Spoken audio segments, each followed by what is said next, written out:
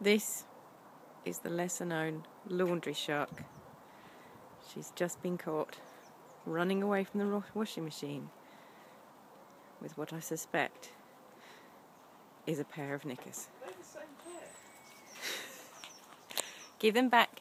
Give them back, Teddy. Give back my knickers.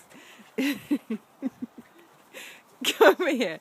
Don't you hide in the bush. Come here with my pants. You knicker thief. Wait. Stop that. Drop it. The thing is, you don't really sound that angry. no, I'm trying really hard. Drop it. Drop it. Drop it, Teddy. You bugger. Teddy, give me back my pants. Oh, look. They're completely.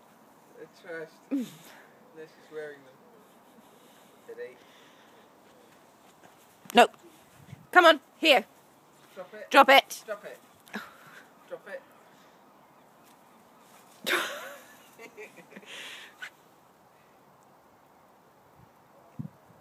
Teddy.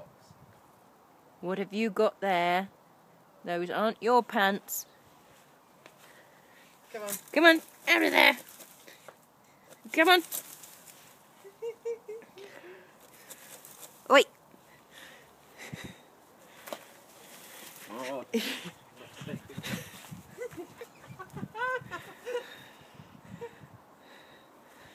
Don't want to look too closely at that bottom because she needs a wash.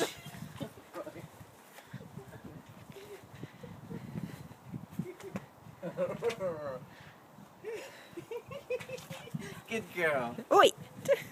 No, I don't know if. Shocking. Well, they're in a pretty sore state. You.